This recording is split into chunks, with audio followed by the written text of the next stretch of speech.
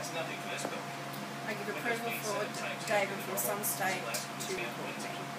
Sunstate Cleaning Services to report me. Lastly, a super roof Dave was great tonight, came to our rescue yet again, um, has several times over the years. We had a burst water pipe in our bathroom tonight. I had water flooding down my hallway. I had Then a special carpet machine was used to crimp completely wet with puddles in it, running into my kitchen, running into my laundry and my 91 year old mother's bedroom. He dropped everything all at once and was here within an hour. Can't recommend him more than, than we've used him so many times. He's just great.